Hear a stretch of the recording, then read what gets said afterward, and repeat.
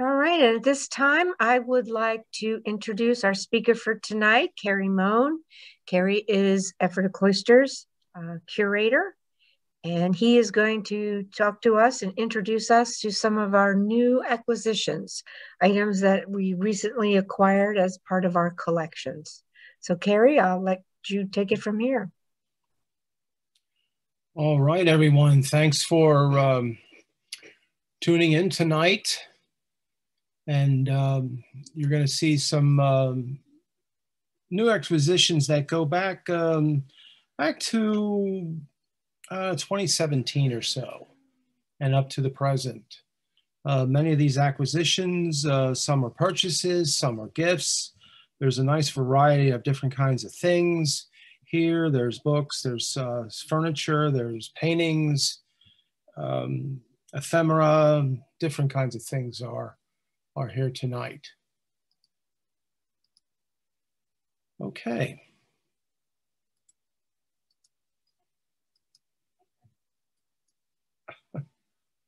Oops, I got ahead of myself.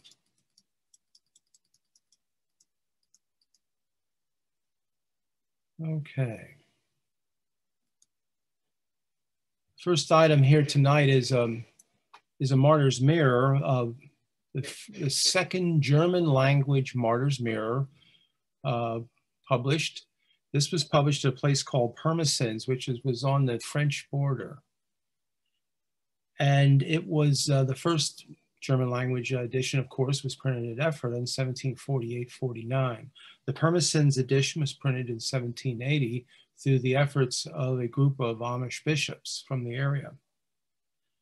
Their copy differs a little bit in that they used a smaller font, so they their their edition is about 200 some pages uh, smaller.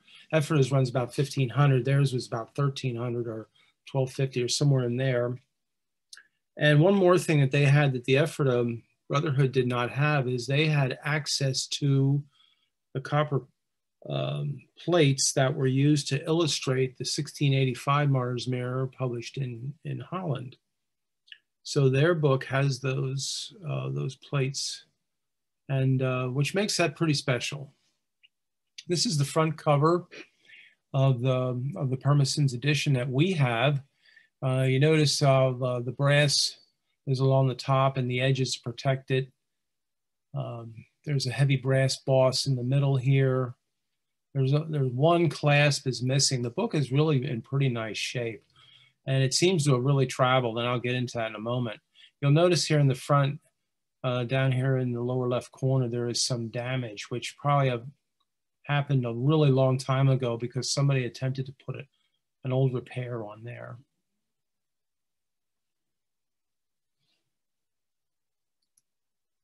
Here's a close-up of that brass boss right in the middle of the page, AG. It's believed that that AG stands for Adam Gillam.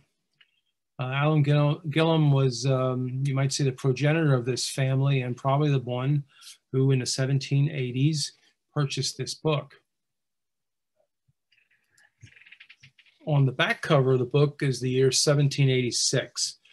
And that apparently is the year that uh, Adam Gillam purchase the book. My understanding is that this type of um, uh, binding was very, um, very much uh, an Amish style binding at that time, especially putting the date of the book and the owner's initials on it. Title page of the Pirmasens Martyr's Mirror. Um, pays tribute, you might say, to Ephrata right there on the title page. Basically, the Pirmasens edition was a copy of the Ephrata edition. They, they used the Peter Miller translation from Dutch to German and basically copied an Ephrata one to, to print uh, this edition. You can see Ephrata in Pennsylvania there.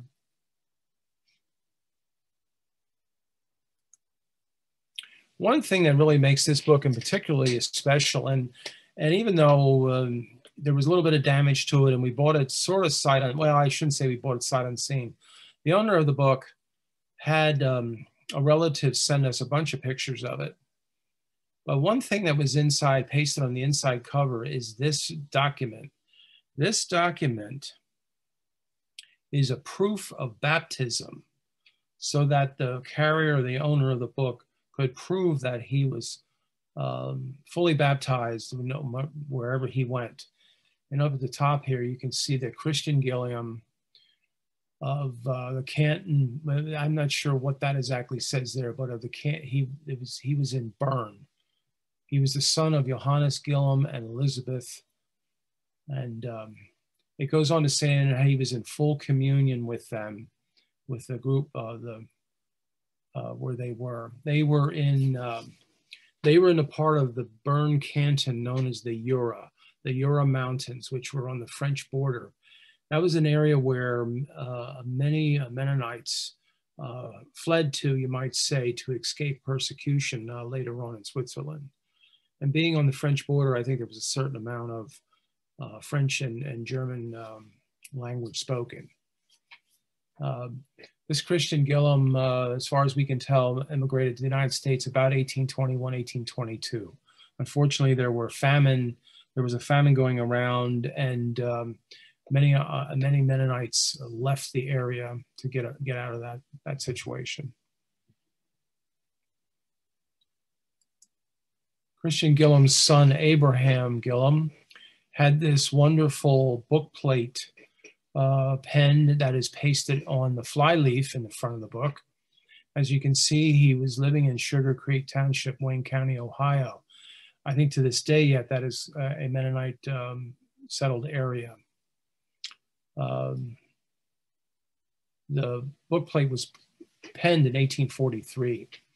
As far as I could tell, this Abraham eventually moved to Missouri he had a very large family. I was able to trace two of his children to Indian, Indiana. This book was purchased from a party from Indiana. So I'm just imagining that one or both of, one of those ch children, one of his children, carried it to Indiana with them, uh, where um, where it wound up and where we purchased it from. This was purchased with uh, funds from the Back to the Cloister Fund.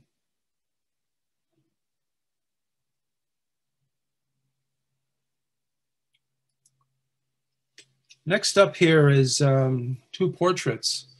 I apologize a little bit for the quality of this uh, this picture and the next one. I tried to retake these this week and they, they the pictures I took uh, were not any better.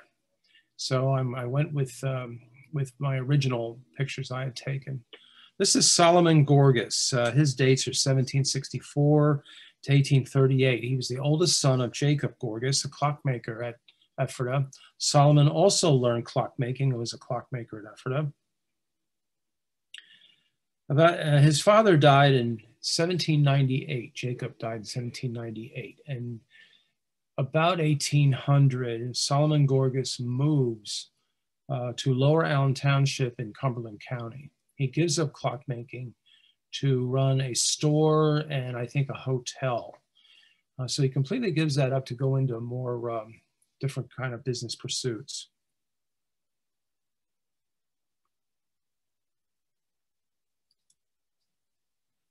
Uh, this is Catherine Fahnestock Gorgas. Her dates are 1774 to 1853. Catherine um, was, of course, from the Fahnestock family. Solomon was from the Gorgas family. The Gorgas and Fahnestock families were important prosperous and influential uh, householder families. They came from Amwell, New Jersey uh, in the late 1730s or so to Ephrata. Catherine and Solomon were married in 1791. They eventually had seven children, four of which were born in, uh, in Ephrata and three in Cumberland County. It's believed that Jacob Eichholtz painted these portraits I'm going to go back to Jacob for, uh, uh, excuse me, for Solomon a little bit. Uh, it's believed that Jacob Eichholtz painted these portraits, although there no signature has been found on the on the paintings. They certainly are in a, a, a Eichholtz style. But what also sort of gives a little bit of uh, credence to the Eichholtz um, painting is that Catherine's brother, Charles, and his wife, Susanna, had their portraits painted by Eichholtz. Catherine also had a first cousin, Dr. Samuel Fahnestock, and his wife, Barbara. He painted their portraits. And she had another first cousin, Judge Obed Fahnestock, and his wife, Anna Maria, also painted, Eichholtz painted their portraits. So it seems pretty um, logical that maybe Eichholtz also painted, painted Charles, uh, excuse me, uh, Solomon Catherine Gorgas's paintings. It's possible that the signatures are hidden by the frame. Uh, I found one instance where there was an Eichholtz portrait that the signature was hidden by the frame. At some point in time, uh, the paintings probably need a little bit of cleaning and conservation. And uh, at that time, maybe the frames can be removed and we can take a really good look. This was a gift of the George Gorgas Twitchell family, who were direct descendants of Solomon Gorgas. And I will uh, bring that family name up later on with another uh, a gift that we received. One of the more um, unusual items that was given to us was a receipt for a love feast on June 11th, 18, well, June 11th, 1802 well, the, the receipt is dated that day. George Zinn, you can see George Zinn uh, Jr. paid six pounds English currency um, to have um, a love feast for his father, George Zinn, on this line here. George Zinn uh, was the miller and operated the community mill for many years. And uh, he died on March 12, 1802. What's interesting about this is the payment was made to Sister Sophia, uh, who was Christiana Funk. She was one of the last celibates and one of the last celibate sisters to live. She died Ju uh, July 14th, 1811. But I think what makes this fascinating is the fact that um, Uh, the old uh, this old sort of ritual was still being carried out. We know from Sangmeister's writings that some love feast were being done in, uh, as sort of a memorial uh, to a deceased celibate member or community member. And even though the community had dwindled quite a bit by 1802, especially the celibates, they were still doing a love feast as a memorial to a deceased member there's not a whole lot known about that period of time uh, between the, um, um, you know, you might say the, the death of Peter Miller in 1796 and the last sisters who died in 1813. Yeah, that time period is a little unknown to us exactly what was going on, but we know that at least the love feast was still being conducted. This was a gift uh, to the site from Jim Schutte, who gave us gave this to us during his lifetime, but he, he has since passed on.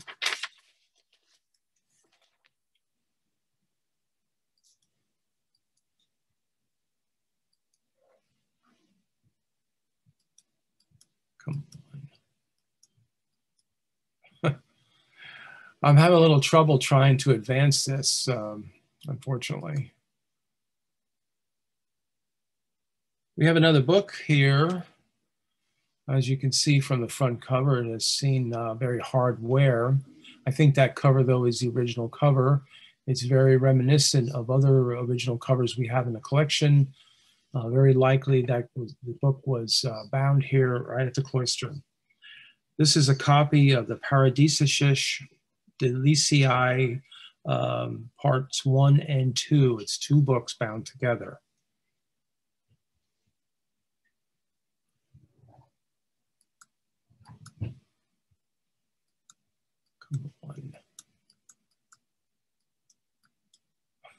Sorry about that, folks. I can't seem to find uh, uh, the advancement. Here's the title page for part one.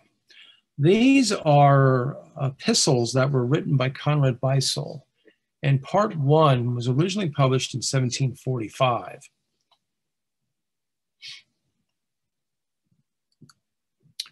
Here's the title page of part two. The date on part two, it's a little, it's a little fuzzy down below there, but it's the same date, 1745. But it's generally believed that part two was originally printed in 1773. The collection already had co a copy or two of part one. We did not have a copy of part two. Here's an example, and sometimes uh, both books were bound together as this in this situation. The Fried Godric, of course, right here in the middle is, is Beissel's name, uh, his cloister name. This was a gift um, that came to us through Somerset Historic Center. Um, a volunteer out there had uh, this book and made uh, Mark Ware uh, aware, uh, Mark Ware made him know, you know, told him about this book, and he called us, and it was passed on to us. Um, all that we could find out about this book was that it was in that family for a very long time, but they don't know where that where it came from. But we suspect that a lot of Ephrata items were carried down along, you might say, the southern border of Pennsylvania, you know, because um, people associated with Ephrata were moving down in that area and even further down into Virginia for a number of years. And, um, you know, of course, Snow Hill in Franklin County was a was another uh, the community um, um, that branched off from Ephrata, but then there were congregations elsewhere along the Pennsylvania border with Maryland.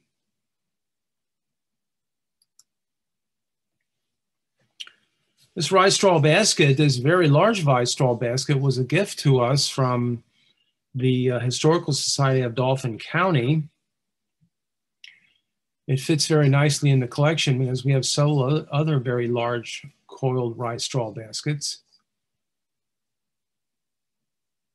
There was an old record at um, Dauphin County saying that this came from Ephrata, but that there was really no other information about that.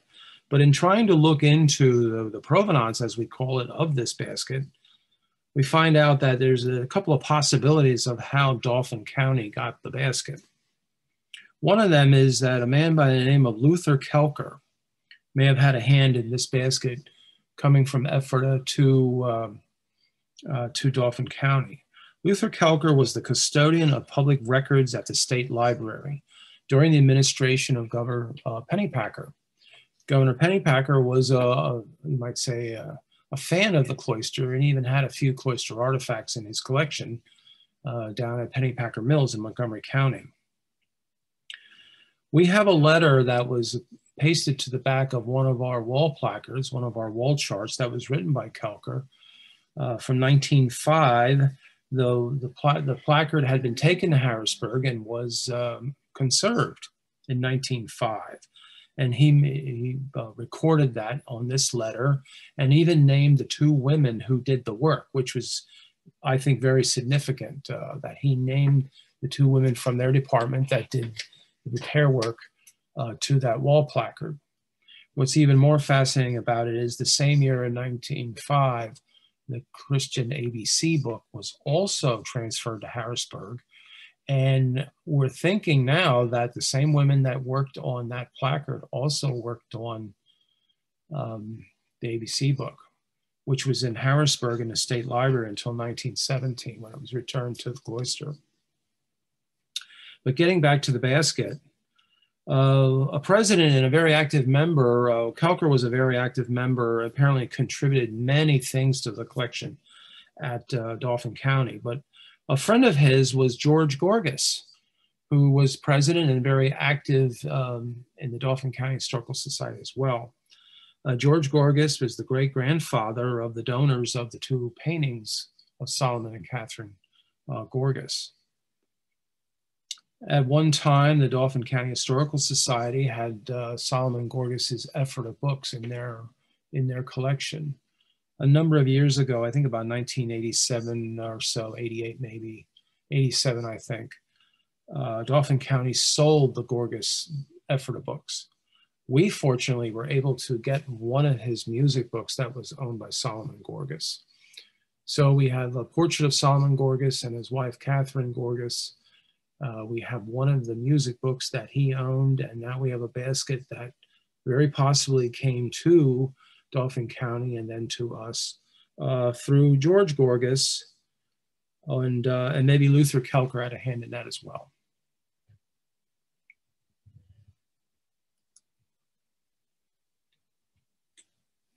Here are, uh, here's a photo of six class rosters from the Ephrata Academy School.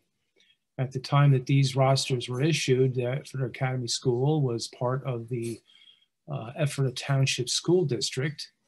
And it seemed at the time, I mean, nowadays uh, or more, I, I, guess still they still do this. Um, school students get their pictures taken every year, and then you get a, uh, a large photo, a large composite of everybody's photo on it. At least I got one when I was in elementary school. Well, at that time, uh, you were given a little a little booklet uh, with the names of everybody that um, attended school that year. And uh, we have uh, six different years here that were given to us by, again, by Jim Schutte, who was a um, very uh, active person at the Historical Society of Cocalico Valley and uh, was a school teacher. He was a collector and a dealer. And he told me that he got these some time ago at an auction. He didn't really remember any more than that. Uh, the years represented here are 1914 15, 15 16, 1918 19, 1919 1920, 1920 21, and 1923 24, which gives us a total of 11 of these rosters for a number of different years uh, for the Academy School um, right here in the grounds of the cloister. For most of those years, up till the end of 1921, Annie Moeller was the teacher at the Academy School. Beginning the following year, uh, a woman by the name of Bertha Miller from 1921 to 1926 was the teacher at the Academy School. Uh, the Academy School was closed at the end of the school term in 1926. These six rosters were owned originally by two sisters who attended the school, Annie and Mary Zimmerman, who wrote their, they're listed in the the roster, but they wrote their names inside the covers, and that's how we know that.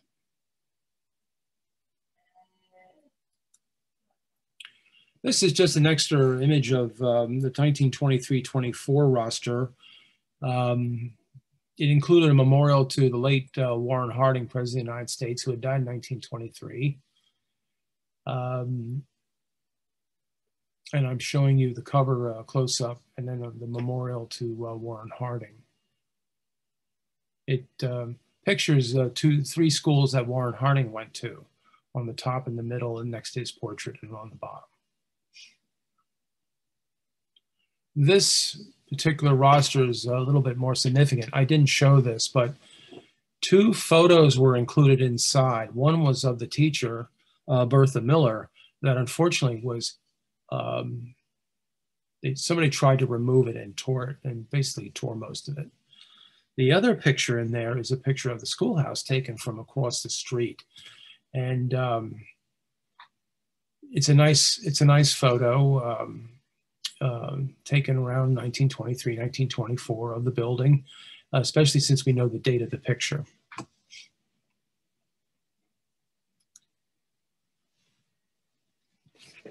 We're going to move on to another gift for the site. This is an Ephrata Martyr's mirror. I took a shot of this, a picture of this from sort of from an angle. So you could see the cover, but you could also see the clasps that hold uh, the covers together. This Martyr's mirror of course, an Ephrata one from 1748-49. And this was a gift of the family of Dorothy May Cockle and Samuel Weidler Graybill.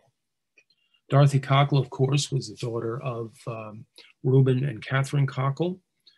Uh, she grew up here on the cloister grounds and even attended the cloister, the academy school in the cloister grounds. She got married in 1932 to Samuel Weidler Graybill. Their children um, donated this uh, copy of the Martyr's Mirror to the site. Significant thing about this book is it's, it's the only Martyr's Mirror that we have with a connection to, uh, with people to the cloister. This is the title page of the first part, or what is known as, um, the, you might say, the new book.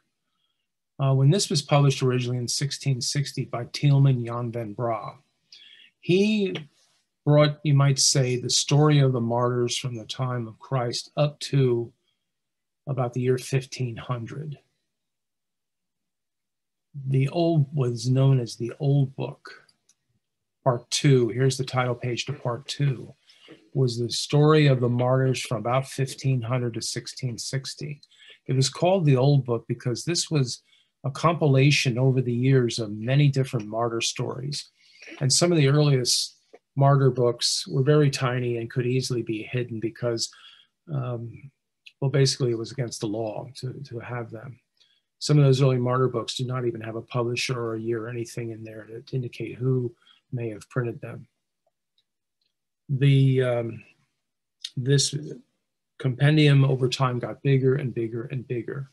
And now this so-called old book from 1500 to 1660 um, is part two of the Ephrata book. One thing I want to point out to you here is this is probably the cleanest and the, the nicest condition. Now the cover is a little worn, but the pages in this book are just about as clean and bright as if they were printed very recently. There's very, very little um, foxing on the pages. There's a tiny little damp stain right up in here but it's a very nice book. Um, uh, one of the family members that donated this, who actually had it in, in his possession, said that the book was rarely ever taken out of storage to, to be looked at. It was basically kept put away. The book came to Dorothy and uh, Samuel Graybill from his parents uh, as a wedding gift in 1932. Uh, the Graybills were involved, um, they were Mennonites originally from Switzerland, the Graybills, but eventually they, um, you might say, drifted or became members of the Brethren Church. And uh, two of the two of the Graybill, um, the grandfather and great grandfather were, one was a deacon and one was a minister in the in the um, Brethren Church. So this may very well have come down through them as well. So it had a very nice, uh, nice providence. And like I said, this was a gift from the Graybill family. Along with this book, along with this copy of the Martyr's Mirror,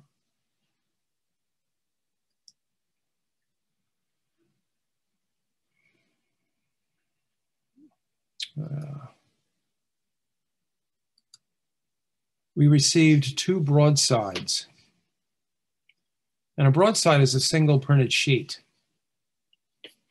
This broadside here is what is known as uh, simply as a Concordia broadside because it um, contains the story, well, actually not, well, it's a story, but it's in the form of a song. It's 29 stanzas. And the title translated is A Song About the Miraculous Passing. There was a little bit of trouble trying to uh, translate that word. It was Fatalien, which does not translate into modern German very easily. It's been guessed at that it means passing or fate of the beautiful Concordia, a commandant's daughter in Hungary. This, um, this broadside is believed to have been printed about 1793 by Solomon Mayer. Solomon Mayer had assumed uh, uh, the printing operation at the cloister after the brothers gave up in 1792. Uh, another Mayer, not related, Benjamin Mayer, uh, took over the printing uh, after Solomon, and then in about the year 1800, after Solomon Mayer moved to Harrisburg, uh, John Bauman took over printing at Ephrata, and I'll get into that a little bit more later on. The late Don Yoder, um, in his book on broadsides, says that uh, the Concordia broadsides were all traditionally associated with Ephrata printers. And we will see another Concordia broadside uh, a little bit later on by a different printer. The gist of the story here is that um, it goes back many years. Um, according to Yoder, the human bride of Christ theme originated in literature going back to the 13th century. Essentially, the commandant, who's not named, promises his daughter Concordia to a prince. And hearing upon this, she was very distraught because she only really had one bridegroom. So the day of the wedding, the wedding was set, and that morning she goes to the garden and she prays, prays wholeheartedly uh, for Jesus to make an appearance. And he does. He comes to her, he takes her to heaven, where she spends, it's not really known how long she spends in heaven, but after um, some time there, she is brought back to earth. Apparently this was a she was only in heaven for a very short period of time but when she comes back to earth it's a hundred years later. And when she comes back she tries to find her her father in her house and it's not there anymore. Her her father was had uh, had died uh, many many years before a hundred years earlier and um, the town hearing of this story uh, wanted to restore everything to her that was in her family, and she refuses. She says, All I need is a place to be laid down. This type of story was very appealing um, uh, to the uh, Ephrata community because it involved, you know, the, the relationship of like, you know, men uniting with Sophia, women uniting with Jesus.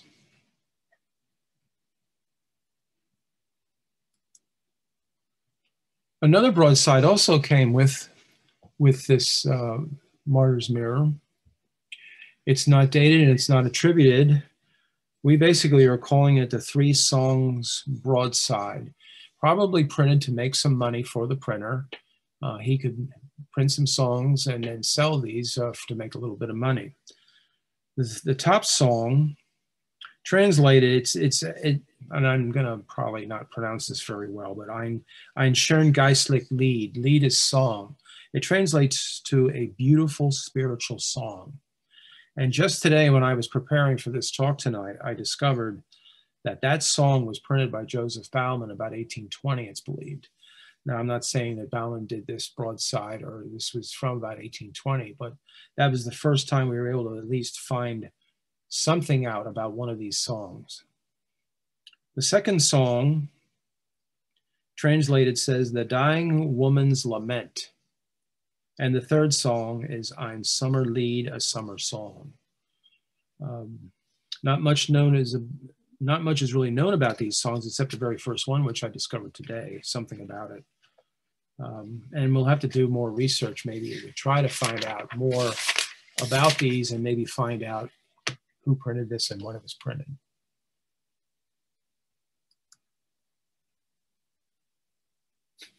As I mentioned earlier, we have another Concordia broadside. This was a purchase from the Clark Hess estate, and once again through back to the cloister funds. Clark Hess was quite a collector, and, and uh, his, his um, holdings were sold in three sales, three catalog sales, and actually there was even other things sold at uh, Horst during their regular Wednesday sale as well. This uh, Concordia broadside, we know though, was printed by Samuel Bauman um, about 1816 or so. Uh, John Bauman had taken over the printing from Benjamin Mayer in 1800 and died in December of 1809. His son Samuel took over that printing business and printed from about 18, well, from 1810 to about 1816. It's not really known when he gave up printing. Uh, he died in 1820 as a fairly young man. The woodcut, though, that illustrates this broadside was used by Samuel Bauman uh, on the cover of the only bound book that he printed in his years of printing. Samuel Bauman um, printed many, uh, the, a lot of what he did was, was broadsides. Haussegens, house blessings, uh, birth certificates, baptismal certificates, things of that nature, maybe very small pamphlets, but um, that was about the extent of what he did. Um, Samuel Bauman's father was Christian Bauman, who was one of the first trustees when the German Seventh day Baptist Church was established in 1814. And Christian Bauman also had a lease on the old uh, cloister paper mill uh, and had operated that many years. Uh, he died in 1815 And that uh, would sort of lead to some trouble um, in how that was uh, resolved. About 1816, 1817, uh, Samuel Bauman's first cousin, excuse me, Samuel Bauman's first cousin, Joseph Bauman, took over the printing until 1830. And uh, Joseph Bauman was not involved in the German Seventh day Baptist Church. And it seems that he maybe had, um, he butted heads with um, the uh, trustees of the church over, over different things. Kerry, while you're on that, I'm going to interrupt a minute. There's one question about uh, the second Concordia from Hess. Does it have the word? And here, you know, I took Spanish, not German, so pardon me when I massacre the word here. Fatalion, F A T A L I E N. Yes. part of the text. Does it? Yes. Um, I really tried to work on that, and there just was not a very good translation of Fatalion. Um, it's been it's been sort of theorized that it stands for fate or passing. Uh, that's how you know that's how we um, that's what was came up with uh, what that word means. It um, was unfamiliar to um, to some of the people I had consulted about that. Thanks. I just thought while okay. you were on there. Sure. Okay.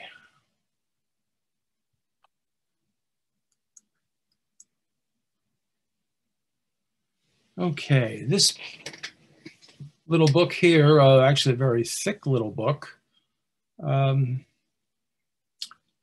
is a Bible, essentially a Bible. It's a, um, a, a, Martin Luther translation of the Old and New Testament, but this is very, particularly important to us because this book was owned by Elizabeth Boldhauser or Boldhauserin, which is the feminine form of the name. There's over a thousand pages uh, in this little book this is a picture, basically gives you an idea of the cover and, and, and the pages. I don't get into this a little bit more in a moment. The book was printed in Lemgo uh, in 1748 and 49. That was after the Boldhausers had already come to the Ephrata area from Amwell, New Jersey. They, they arrived here with, um, with the Fahnestocks as well. They originally were in Amwell and they came here with the Gorgas, the Fahnestocks and um, and the Boldhausers. How little is it? Uh, question from in the house here uh, asks, uh, how little is this book? It's about three and a half by six or so. And it's about um, mm, three and a half, three and three quarter inches high this way. I included this picture in here because this is the paste down inside the cover. Now the front cover is detached, so that made it pretty easy to get this picture. But I thought it was rather interesting to see the, the design of the paste down inside the cover, very different than what you usually see.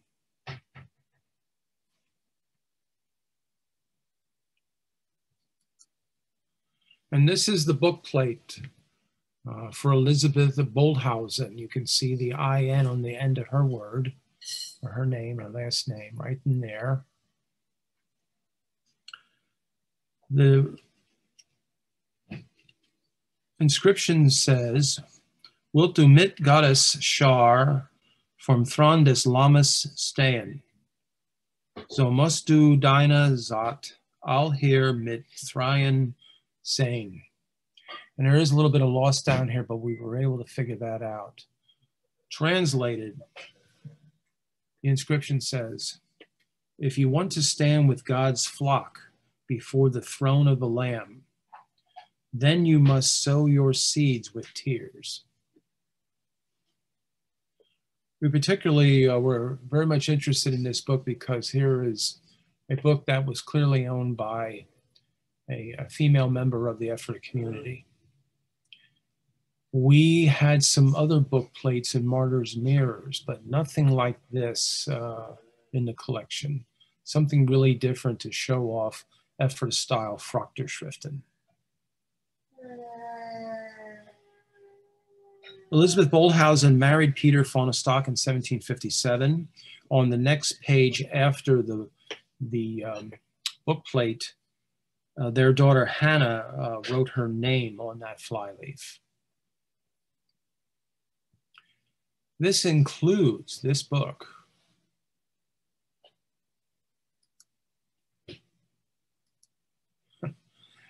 oh, I don't know why this isn't doing this.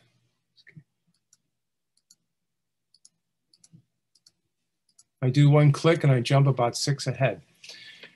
This is the, well, it's, it's not the title page of the Bible part. This is a six page uh, tribute to Count Simon August.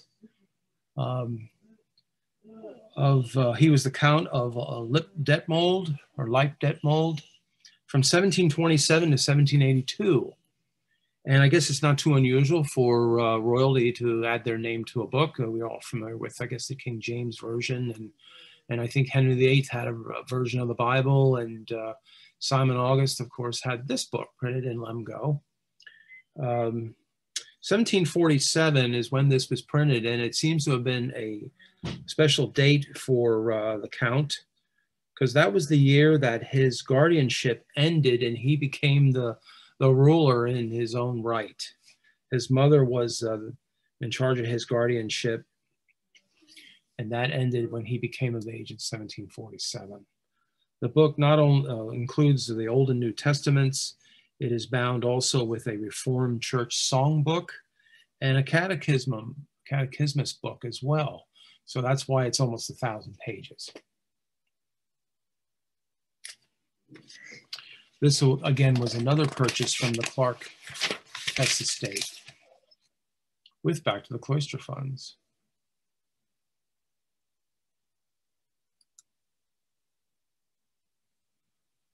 Now, the next, the next book here that you see was an Eckerlin manuscript book written by Israel Eckerlin from the Allegheny Mountains after the Eckerlins were um, basically made to feel unwelcome and they leave Ephrata in 1745.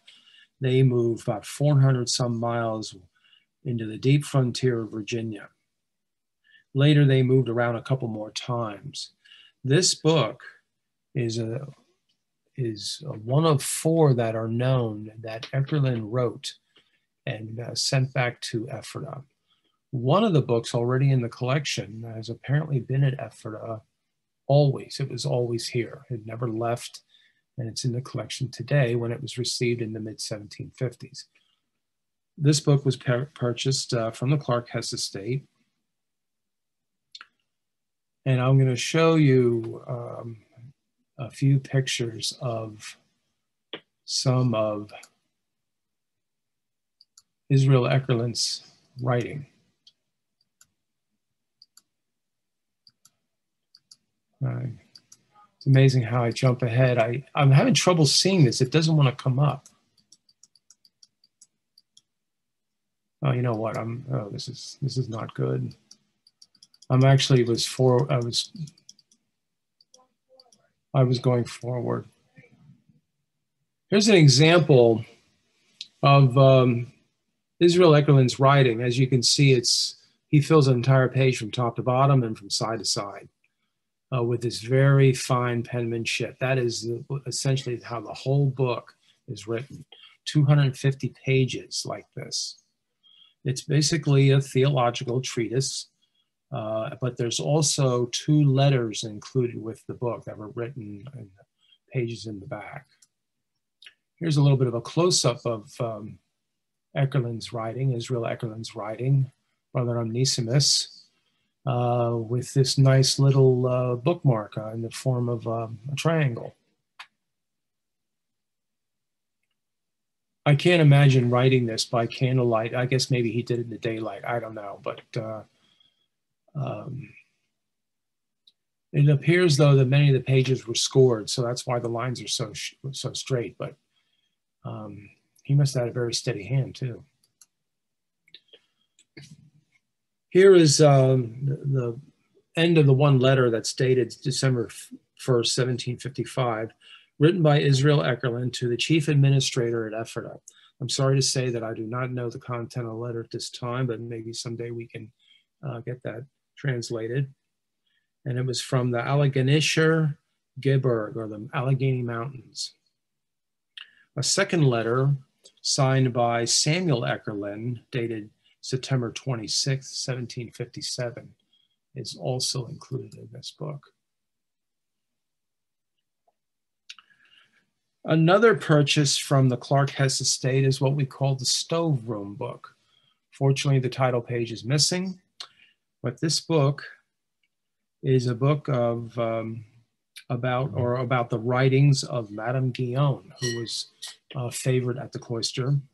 Madame Guyon was a French mystic and a quietist. She was imprisoned in the Bastille, I think twice, because uh, her writings and um, were considered heresy by the official church in France. And um, she was her her writings were popular among Quakers, Moravians, and other pietist Protestants. Quietism rose on the continent between about 1670 and the 1680s and um, was popular in um, Portugal, Spain, France, Italy. Um, quietism um, emphasized contemplation over meditation, uh, stillness over vocal prayer, uh, passivity over pious action, and also emphasize union with God. And uh, that was considered heretic- heretical, causing her to spend time in the Bastille. The inscription on the book is Dis Buch gehört in die erste Stube in Saron. Translated, this book belongs in the first stove room in Saron, which was quite remarkable because there is no other known book that mentions a building at the cloister and also creates a little bit of a mystery for us to figure out uh, 200 some years later what was the first stove room in Saron. Um, as built, Saron had uh, two stove rooms on each floor. Later on, when the building was remodeled around 1745 for exclusive use by the sisters, I mean, originally it was built for men and women. Um, they added a, a, third stove room on each floor. So uh, after 1745, there were um, nine stove rooms in the building, three in each floor. Now, which one was the first stove room is, is the real question and mystery.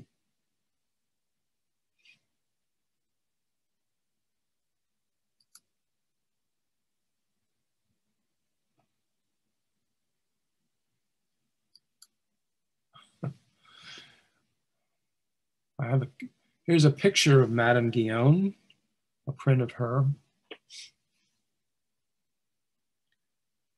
Madame Guyon died, um, um, I'm going to, you know, I sort of forgot this now, around 1718, I think.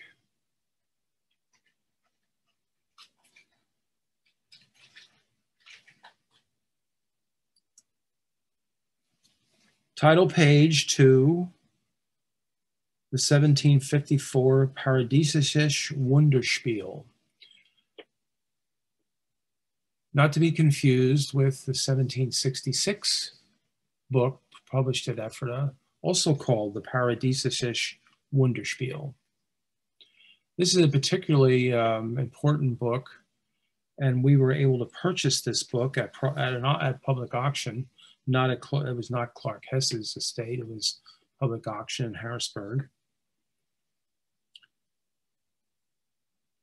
All the all the music in this book was composed by Conrad Beissel. This was the first time that the Ephrata community attempted to print printed staffs and, and lyrics in their music book.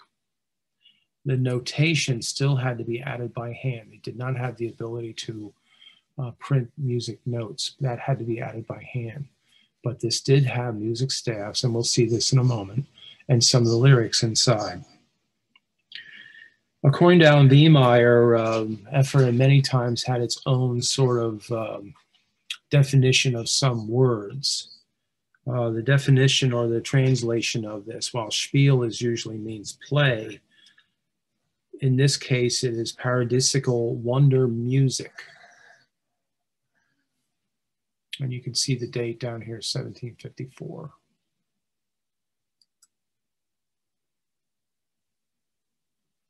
Here's an example of um, what it looks like inside. The staffs and some of the lyrics, of course, are printed, but uh, the music notation had to be added, and in spaces, they added small decorations. A large part of this book is also this includes the Song of Solomon as well. This is page 71 and 72. Here's 85 and 86.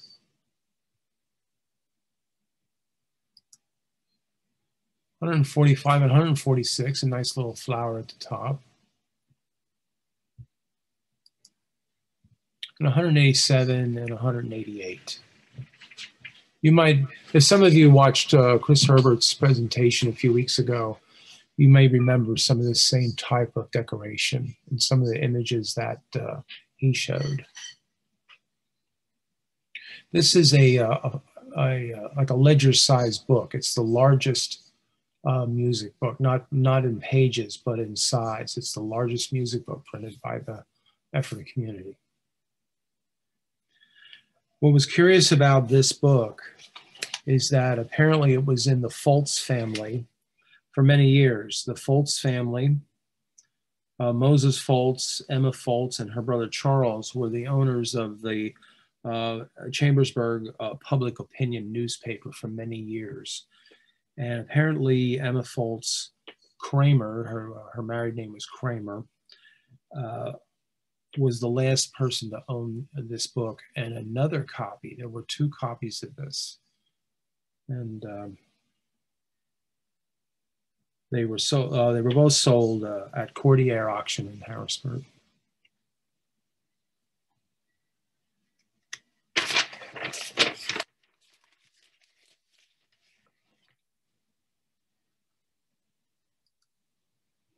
Now we come to a, a gift. Uh, Dr. David Fuchs gave us this book. This came from the Clark Hess estate. And um, the name uh, von uh, von der Nichtlight Menschlichen Lebens um, translated means a spiritual lesson about the futility, or it could be translated the nothingness of human life. The, the little, um, this little pamphlet seemingly is unknown anywhere else. We have a broadside we'll see in a little while that has essentially the same title. And uh, the confusion of this, when I saw this was listed in the sale um, of the Hess estate, I started looking for this online and I could only find one reference to this title. And that was from the 1920s and was came from the Governor Pennypacker collection. Now, the cataloger in the 1920s called it a broadside, but this certainly is not a broadside. It is a small pamphlet. There's three songs in here, and uh, it seems the little pamphlet, little booklet was published maybe for use at a funeral because of the nature of the songs. But we just don't know that.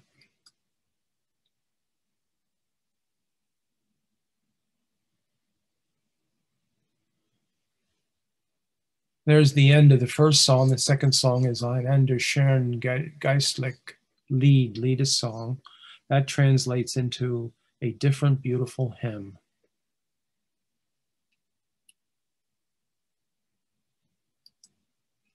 And that's the end of the second song, was 12 stanzas.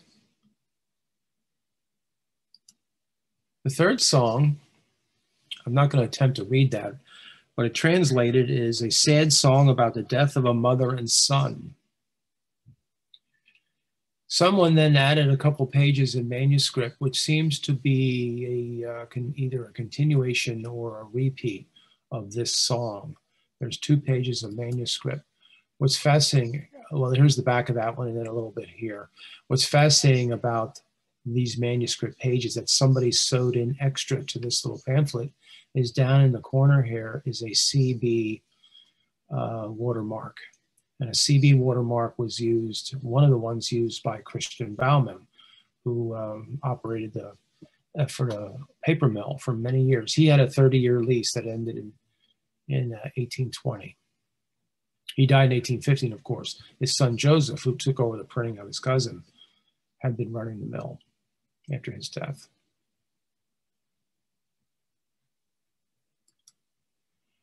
And here is the, um, the back of that last manuscript page and then the, and then the last part of that song, that third song. And here's the back page of that. Now, according to some research that Dr. Fuchs did, um, the first two songs in, in, this little pamphlet appear in the Mennonite hymnal uh, that was first published in 1804. So that maybe gives a little bit of a date possibly to this little pamphlet. But the third song is unknown. The one, the sad song about the death of the mother and son, is, is unknown at this time. Maybe we can find it somewhere.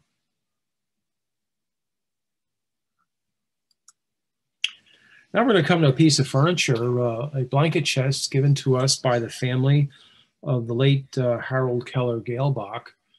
This chest was in the Gelbach, well, in the Keller family, uh, all the way from um,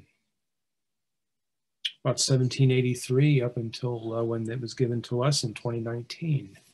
This is a picture of the front of the of the um, uh, blanket chest blanket chest in every way is very typical of a late fourth quarter uh, style blanket chest that was very commonly made and used in Pennsylvania. Size wise, the depth of the box, uh, the construction of it is all very, very similar to similar blanket chests from that time period what seems a little unusual and a little out of place here, and I don't have a good answer for this, is some of the painting and decoration on it.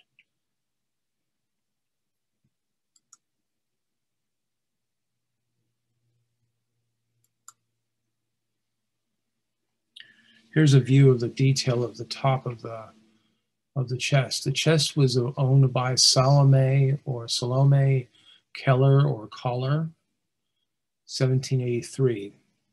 Her dates are 1768 to 1843. When she was married in 17, well, the chest was given to her presumably in 1783. She married Johannes Becker or John Baker, which I found in some records. Uh, his name was anglicized. The following year in 1784, which seems to match very well um, with the date she got the chest and when she was married. Sometimes these are called hope chests and maybe were used to store items for um, the future life, uh, the future maybe um, housekeeping of the, the owner.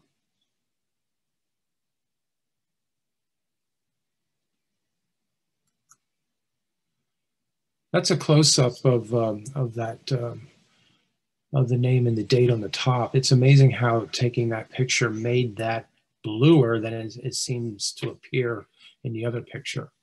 But notice all the little decorations on the top there. I, I, it seems to me that somebody took, I don't know if it was a brush or their finger, and after they painted it, they just made all those marks all over the top there.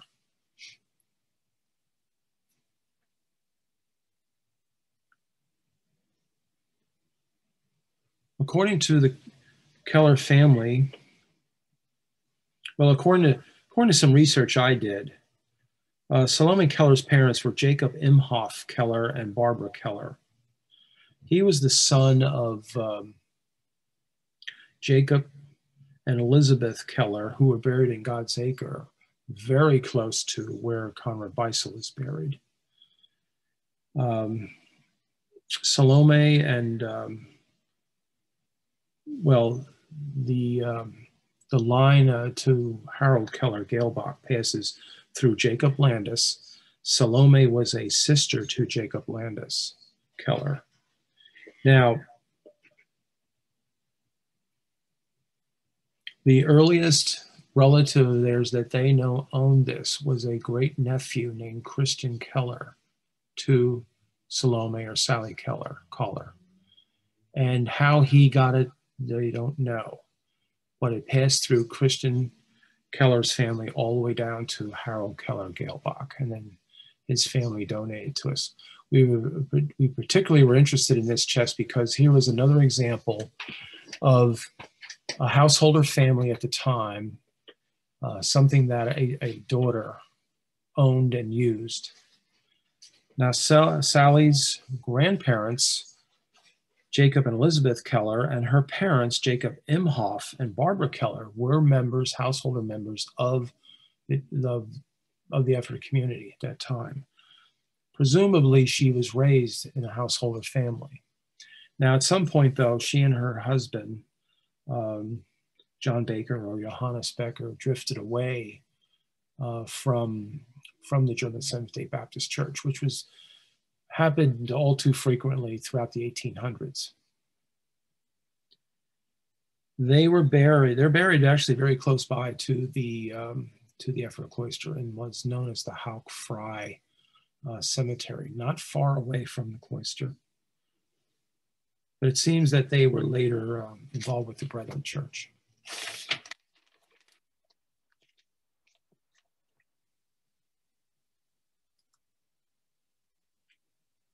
Here's a detail of the end of the box showing the, the handle, and you can see some more of that um, um, interesting decoration there. I don't know if that was created by a finger or some other something else. And a detail of the what we call a hex sign on the top of the box. Casters were added to this uh, box at some point in time, so it, it could be moved around.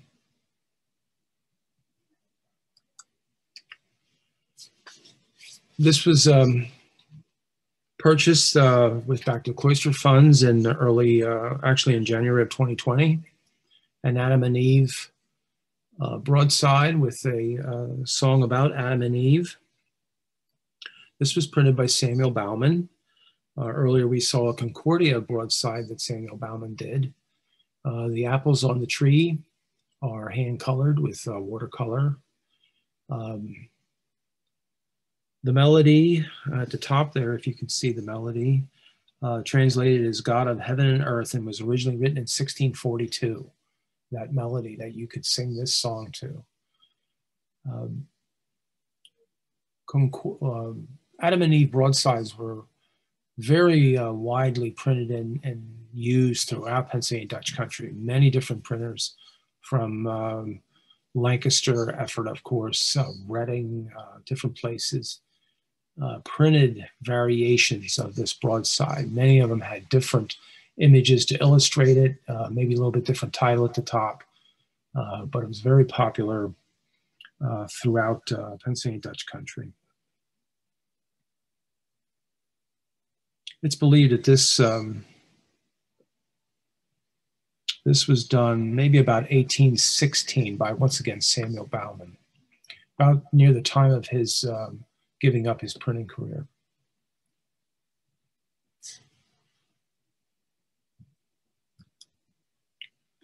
And here we have that same title again, um, a Nick broadside, another purchase in January with Back to the Cloister Funds. Uh, translated, again, spiritual lesson about the futility of human life. The melody is, um,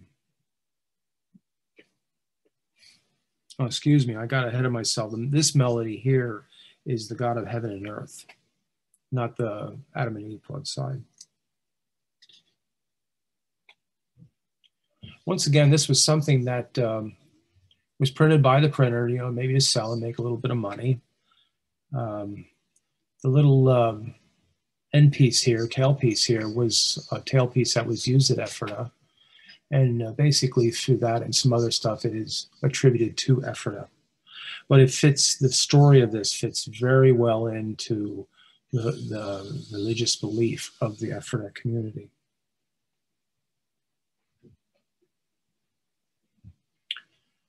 According to a man by the name of Herman Wellenreuther, and I'm going to show you his book to see if you can see it. This is a book that we do sell in the museum store. There's a little bit of glare on it, unfortunately. Um, this is a very good book about broadsides. And, and uh, Don Yoder's book is very good too. It has different kinds of things in it. That is the only book, though, Wellenreuther's book, where I could find information about this broadside. And this is probably what was in the Pennypacker collection, this broadside, not that little pamphlet with the, the same name, with just some of the words in a different order. This is probably what Pennypacker had. And where that broadside wound up, I couldn't tell you today. Although I found out that I think in Columbia University, there's another copy of this, of this broadside. According to Wellenreuther, these are all pretty scarce. And um, it was part of a series of, of broadsides that were done on um, about Christian virtues it's hard to place a date on this. I think there was some date 1770. I saw another another possibility that this was more near the uh, very early 1800s, which would make that possible product of the Baumann family.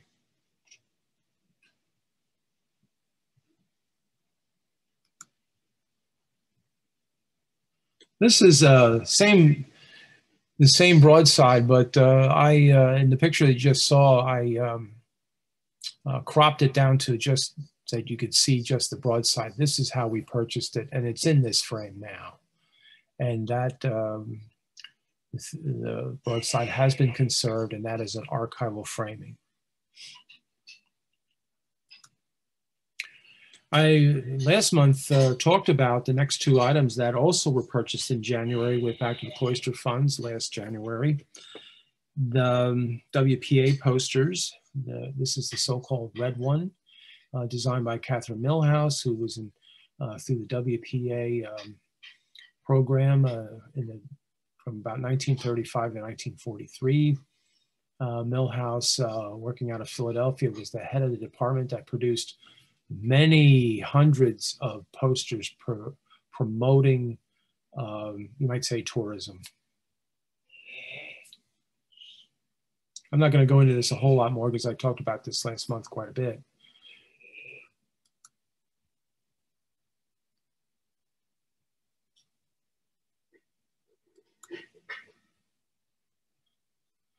And this, of course, is the blue one that was also designed by Katherine Milhous, who was an illustrator, uh, attended the Academy of Fine Arts, um, paid her way through college uh, by illustrating magazines wrote and illustrated children's books. Her probably most famous book was called The Egg Tree.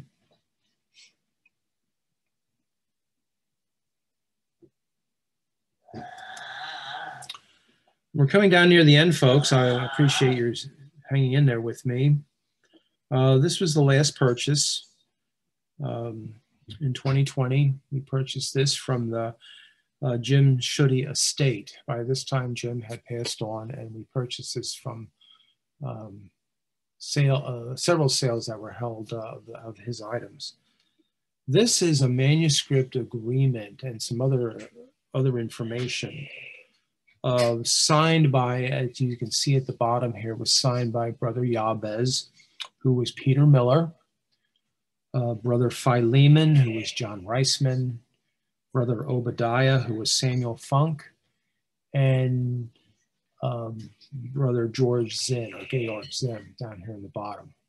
This was an agreement that he would not charge the Ephrata community for the milling uh, of flour for the, the mill. It's my understanding that usually one tenth of a bushel was the fee charged by a miller to uh, process your grain. But apparently, through this agreement, he was not going to charge the celibates uh, to do uh, mill their grain.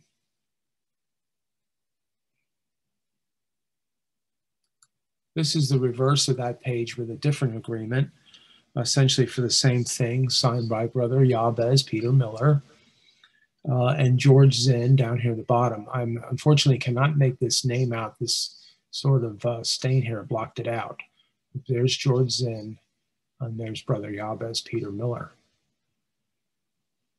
George Zinn was the community miller, ran the community mill till about about 1771, 72, somewhere in there, and moved over to what is today Lebanon County. Uh, had a mill over there on Zinn Mill Road in Lebanon County near Quentin.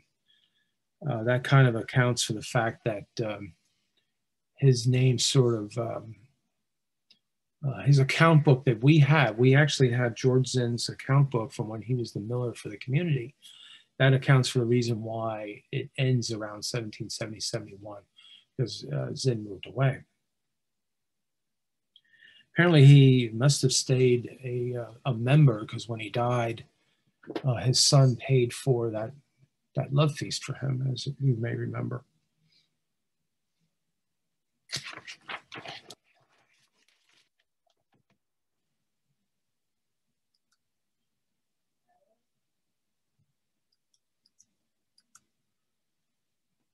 Oh, you know, I, well,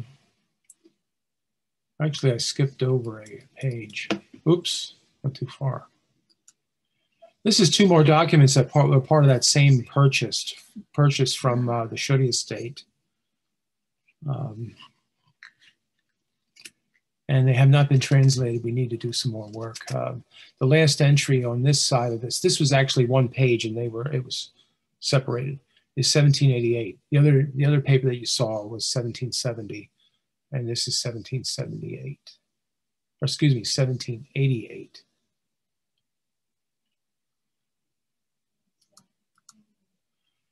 And that's the end, folks. Um, if you have any questions, I'll try to answer them for you. Well, thank you very much, Kerry. That was interesting. Uh, it shows we have a lot of um, very generous individuals connected with the cloister. Um, those who have given to the Back to the Cloister Fund, we thank everybody to make for making all of this possible.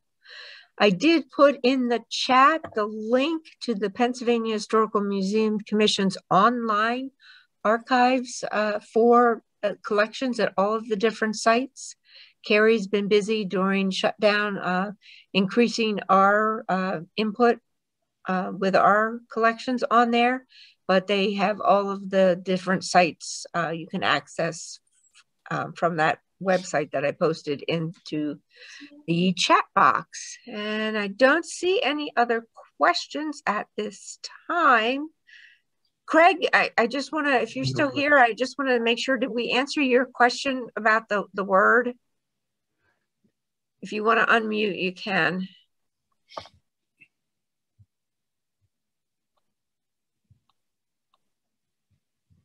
Oh, maybe he maybe he bucked out here on us. Okay. We'll assume we did. All right. Our, our, yeah, Kerry. If anybody has any questions at any time, you can always uh, contact me at the cloister. Uh, my email is uh, kmohn at pa.gov. Uh, if you have any questions, uh, email usually is always the best way to contact me. All right. Well, I think since we're running a little late, I don't see any other questions. Everybody's saying how much they enjoyed the program, Kerry. Uh, I just want to remind everyone our next uh, virtual academy will be April 8th at 7 p.m. Uh, and we'll have something a little bit different this next time. Our student historians are going to be uh, presenting this program on April 8th and you're going to get into the action because it's going to test your knowledge of little known facts from national, state, and local history. And it's called the Great Unforgettable Forgotten History Quiz. So be sure to spread the word. We'll be sending out emails and information can also be found on our website.